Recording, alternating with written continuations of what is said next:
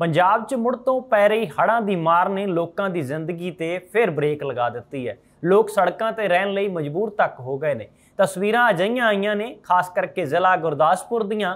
ਜ਼ਿਲ੍ਹਾ ਗੁਰਦਾਸਪੁਰ ਤੋਂ ਰੋਹਿਤ ਗੁਪਤਾ ਦੀ ਇਸ ਖਾਸ ਰਿਪੋਰਟ ਵਿੱਚ ਦੱਸਾਂਗੇ ਕਿ ਉੱਥੋਂ ਦੇ ਲੋਕਾਂ ਦੇ ਜ਼ਮੀਨੀ ਹਾਲਾਤ ਕੀ ਨੇ, ਹਕੀਕਤ ਕੀ ਹੈ।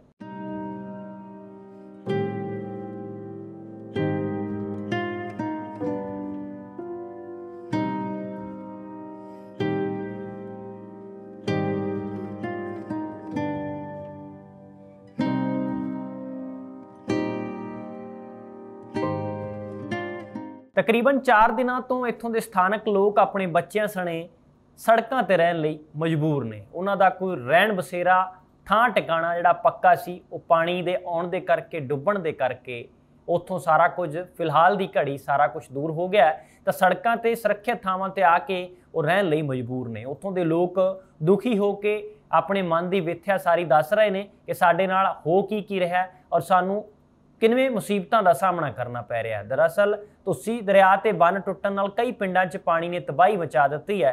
ਕੁਝ ਲੋਕ ਆਪਣੇ ਘਰ ਛੱਡ ਕੇ ਰਾਹਤ ਕੈਂਪਾਂ 'ਚ ਚਲੇ ਗਏ ਨੇ, ਕੁਝ ਜਿਨ੍ਹਾਂ ਦੇ ਘਰ ਪੱਕੇ ਨੇ ਤੇ ਉਹਨਾਂ ਘਰਾਂ ਦੀਆਂ ਛੱਤਾਂ ਤੇ ਡੇਰੇ ਲਾ ਲਏ ਨੇ। ਪਰ ਕਈ ਲੋਕ 4 ਦਿਨਾਂ ਤੋਂ ਤੁਸੀਂ ਬੰਨ ਦੇ ਜਿਹੜੇ ਕਿਨਾਰੇ ਦੇ ਉੱਤੇ ਆਪਣੇ ਘਰਾਂ ਦੇ ਲੋਕ ਸੜਕਾਂ ਦੇ ਕੰਢੇ ਬਹਿਣ ਲਈ ਮਜਬੂਰ ਹੋ ਗਏ ਨੇ। ਪ੍ਰਸ਼ਾਸਨਿਕ ਤੇ ਸਮਾਜ ਸੇਵੀ ਸੰਗਠਨਾਂ ਵੱਲੋਂ ਪਹੁੰਚਾਈ ਜਾ ਰਹੀ ਰਾਹਤ ਸਮੱਗਰੀ ਤੇ ਲੰਗਰ ਪਾਣੀ ਦੇ ਸਹਾਰੇ ਲੋਕ ਇੰਤਜ਼ਾਰ ਕਰ ਰਹੇ ਨੇ ਕਿ ਕਦੋਂ ਪਾਣੀ ਉਤਰੇਗਾ ਤੇ ਕਦੋਂ ਆਪਣੇ ਘਰਾਂ ਨੂੰ ਵਾਪਸ ਪਰਤਣ। ਸਾਡੀ ਡਾਕਟਰ ਸਾਹਿਬ ਨਾਲ ਮਦਦ ਕੀਤੀ ਆ। ਸਾਡਾ ਘਰ-ਬਾਰ ਪਾਣੀ ਵਿੱਚ ਬਿਲਕੁਲ ਡੁੱਬਿਆ ਹਲੇ। ਤੇ ਸਾਡਾ ਦਾਣਾ ਫੱਕਾ ਸਾਰਾ ਖਤਮ ਹੋ ਚੁੱਕਾ। ਅਸੀਂ ਗਾਂ ਅੱਗੇ ਸਾਲ ਬਾਅਦ ਇਹ ਰੁਕਣੇ ਅੱਜ ਤੇ ਲੰਗਰ ਖਾਣ ਦੇ ਕੋਈ ਗੱਲ ਨਹੀਂ, ਅੱਜ ਲੰਗਰ ਖਾਣ ਦੇ ਅੱਜ ਅਸੀਂ ਤੇ ਗਾਂ ਅਸੀਂ ਕੀ ਖਾਵਾਂਗੇ? ਅਸੀਂ ਇਹ ਗੱਲ ਕਰ ਛੋਟ ਛੋਟ ਕੇ ਝੂਰਨੇ ਆ ਵੀ ਅਸੀਂ ਨਾ ਕੋਈ ਦਾਣਾ ਰਿਆ ਨਾ ਕਿਸੇ ਦੇ ਮਾਂ ਨਾ ਕਿਸੇ ਦੀ ਸਰੋਂ ਰਹੀ ਜੀ, ਨਾ ਕਿਸੇ ਦੇ ਚੌਲ ਰੇ। ਤੇ ਗਾੜੀ ਕੀ ਖਾਵਾਂਗੇ? ਗਾਂ ਚੋ ਜਿਹੜੀ ਆਉਣ ਵਾਲੀ ਫਸਲ ਆ, ਉਹ ਵੀ ਖਤਮ ਹੋ ਚੁੱਕੀ ਹੈ ਜਿਹੜੀ ਗੰਨਾ ਵੀ ਖਤਮ ਹੋ ਗਿਆ ਝੋਨਾ ਵੀ ਖਤਮ ਹੋ ਗਿਆ ਗਾੜੀ ਜੇ ਬੀਜੀ ਆਈਗਾ। ਇਸ ਕਰਕੇ ਸਾਡੀ ਸਰਕਾਰ ਨੂੰ ਮਦਦ ਕਰਨੀ ਚਾਹੀਦੀ ਥੋੜੀ ਬਹੁਤੀ। ਨੁਕਸਾਨ ਤਾਂ ਸਾਰਾ A to Z ਸਾਰਾ ਹੀ ਹੋ ਗਿਆ। ਵਾ ਕੋਈ ਫਸਲ ਨਹੀਂ ਰਹੀ ਕੋਈ ਅੰਦਰ ਕੋਈ ਦਾਣਾ ਫੱਕਾ ਵਗੈਰਾ ਕੋਈ ਸਮਾਨ ਸਾਰਾ ਹੀ ਤਬਾਹ ਹੋ ਗਿਆ ਜੀ। ਖਤਮ ਹੋ ਗਿਆ। ਸਰ 14 ਤਰੀਕ ਸ਼ਾਮ ਨੂੰ ਪਾਣੀ ਜਿਹੜਾ ਦਰਿਆ ਚੋਂ ਨਿਕਲ ਗਿਆ ਕੋਈ 1-2 ਵਜੇ।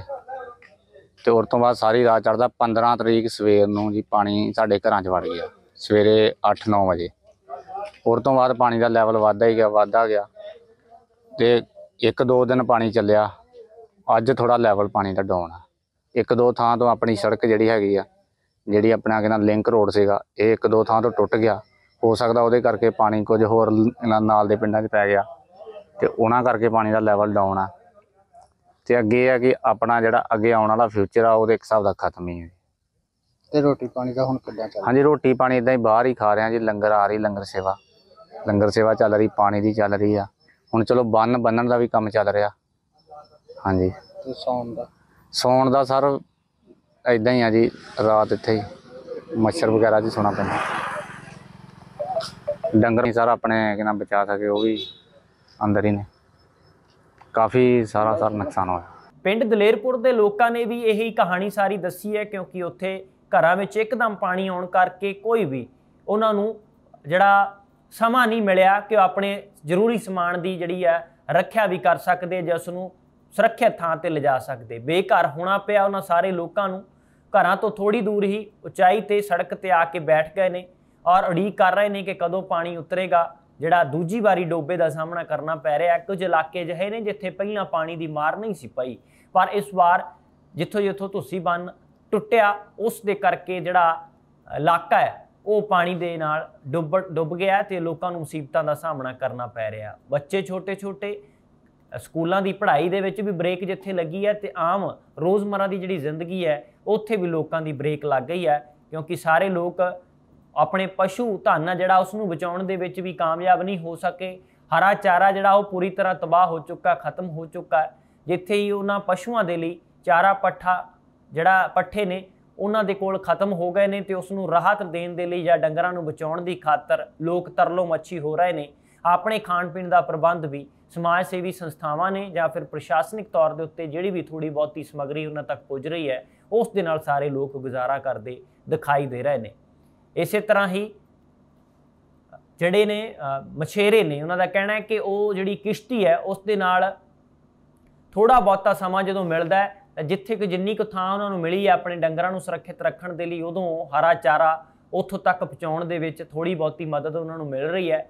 ਨਹੀਂ ਤਾਂ ਸਾਰਾ ਦਿਨ ਜਿਹੜੇ ਡੰਗਰ ਨੇ ਉਹ ਵੀ ਭੁੱਖੇ ਪਿਆਸੇ ਖੜੇ ਰਹਿੰਦੇ ਨੇ ਔਰ ਸਾਡੇ ਖੁਦ ਲਈ ਵੀ ਜਿਹੜਾ ਖਾਣ ਪੀਣ ਦਾ, ਪਾਣੀ ਦਾ ਇੰਤਜ਼ਾਮ ਨਹੀਂ ਹੈ।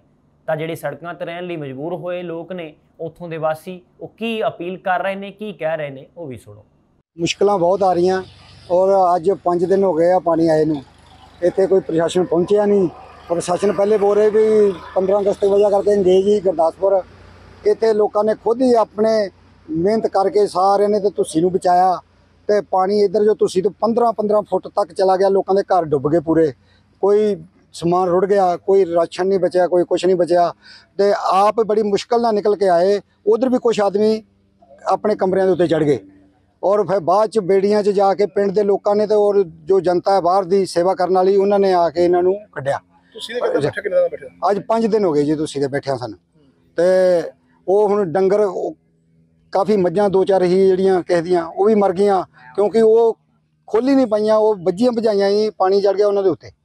ਤੇ ਉਹ ਜੇ ਲੜਕਾ ਖੁਦ ਕਮਰੇ ਦੇ ਉੱਤੇ ਚੜਿਆ ਸੀ, ਜੇ ਉਹ ਥੱਲੇ ਖੁਦ ਆਉਂਦਾ, ਤੇ ਖੁਦ ਵੀ ਉਹ ਰੁੜ ਜਾਂਦਾ। ਇਹ ਕਰਕੇ ਉਹਨੂੰ, ਉਹਦਾ ਬਹੁਤ ਜ਼ਿਆਦਾ ਨੁਕਸਾਨ ਹੋਇਆ, ਇੱਕ ਆਦਮੀ ਦਾ ਬਹੁਤ ਜ਼ਿਆਦਾ। ਤੇ ਬਾਕੀ ਜਿਹੜੇ ਡੰਗਰ ਆ, ਇੱਕ ਗਾਈ ਸੂਣ ਵਾਲੀ ਸੀ, ਉਹ ਉੱਥੇ ਹੀ ਬਸ ਜਦੋਂ ਸੌਣ ਦਾ ਟਾਈਮ ਆਇਆ ਤੇ ਪਾਣੀ ਦੇ ਵਿੱਚ ਖੜੀ ਸੀ ਤੇ ਉਹ ਬੈਠਣ ਦਾ ਮੌਕਾ ਨਹੀਂ ਚਾਰ ਚਾਰ ਦਿਨ ਮਿਲਿਆ ਡੰਗਰਾਂ ਨੂੰ। ਇਤਨਾ ਕੋਈ ਰਾਹਤ ਮਿਲੀ ਡੰਗਰਾਂ ਨੂੰ। ਹੁਣ ਇਹ ਥੋੜਾ ਡੀਸੀ ਸਾਹਿਬ ਆਏ, ਉਹਨਾਂ ਨੇ ਕੁਝ ਸਮਾਨ ਭੇਜਿਆ ਤੇ ਡਾਕਟਰਾਂ ਦੀ ਟੀਮਾਂ ਆ ਕੇ, ਉਹ ਆ ਕੇ ਉਹਨਾਂ ਨੂੰ ਟੀਕੇ ਟਾਕੇ ਲਗਾ ਕੇ ਬੇੜੀਆਂ 'ਚ ਗਏ ਆ। ਡਾਕਟਰਾਂ ਨੇ ਥੋੜਾ ਸਾਥ ਦਿੱਤਾ ਹੁਣ ਕਾਫੀ।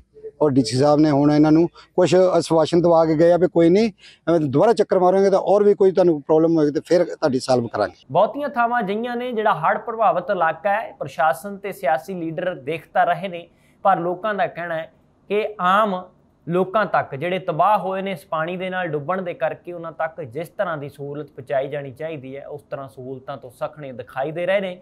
ਦੇਖਦੇ ਹਾਂ ਕਿ ਕਦੋਂ ਤੱਕ ਉੱਥੇ ਤੱਕ ਜਿਹੜੇ ਜਿੱਥੇ ਜਿੱਥੇ ਨਹੀਂ ਪਹੁੰਚ ਪਾ ਰਹੀ ਸਮੱਗਰੀ ਜਾਂ ਰਾਹਤ ਕਾਰਜ ਨਹੀਂ ਚਲਾਏ ਜਾ ਰਹੇ, ਪ੍ਰਸ਼ਾਸਨ ਤੇ ਸਰਕਾਰ ਦੀ ਨਜ਼ਰ ਪੈਂਦੀ ਹੈ ਔਰ ਉਹਨਾਂ ਨੂੰ ਰਾਹਤ ਦਿੱਤੀ ਜਾ ਸਕਦੀ ਹੈ। ਲੋਕ ਦੁਖੀ ਨੇ ਤੇ ਸਾਰੇ ਹੀ ਇੱਕੋ ਗੱਲ ਦੀ ਉਡੀਕ ਕਰ ਰਹੇ ਨੇ ਕਿ ਕਦੋਂ ਪਾਣੀ ਦਾ ਪੱਧਰ ਹੇਠਾਂ ਜਾਵੇ ਤੇ ਕਦੋਂ ਉਹ ਆਪਣੇ ਘਰਾਂ ਨੂੰ ਵਾਪਸ ਪਰਤਣ। ਫਿਲਹਾਲ ਗੁਰਦਾਸਪੁਰ ਤੋਂ ਰੋਹਿਤ ਗੁਪਤਾ ਦੀ ਇਸ ਰਿਪੋਰਟ ਦੇ ਵਿੱਚ ਇੰਨਾ ਹੀ। ਤੁਸੀਂ ਬਣੇ ਰਹੋ ABC ਪੰਜਾਬ ਦੇ ਨਾਲ।